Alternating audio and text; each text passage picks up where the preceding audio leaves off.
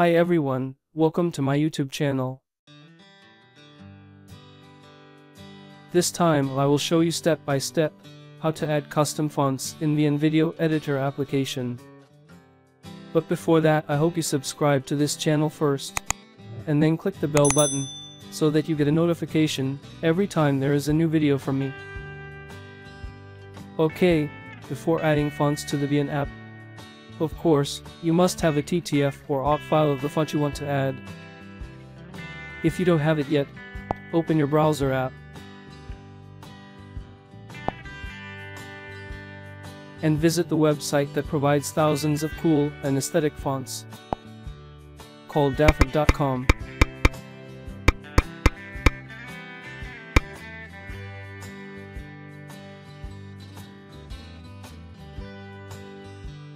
Here, you can choose what font you want for free. For example, here I will choose this Catalyst Hunter font. So I will download it first.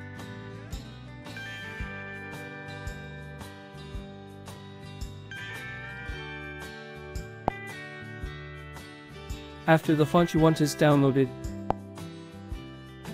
now extract it first because your font is still in the zip file.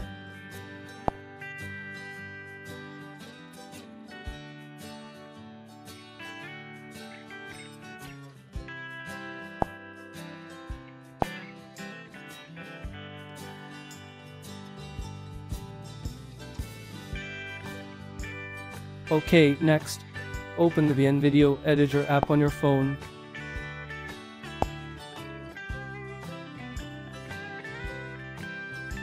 Then open the fonts menu.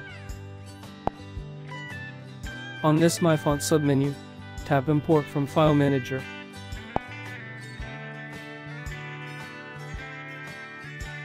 After that, find the font that you downloaded and extracted earlier. Then choose one of the font styles you want.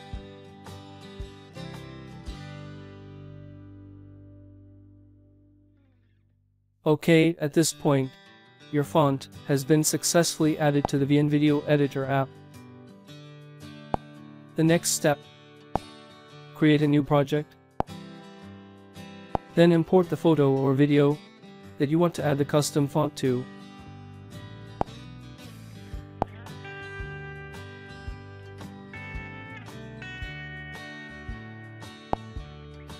Next, tap the Add Subtitle layer and choose text.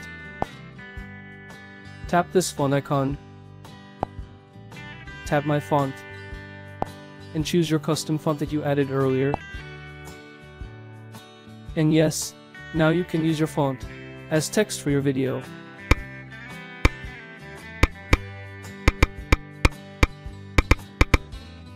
Okay guys, those are the steps on how to add custom fonts in the Video Editor app. So I hope this video is useful. See you in the other upcoming VN video tutorials. And thanks for watching.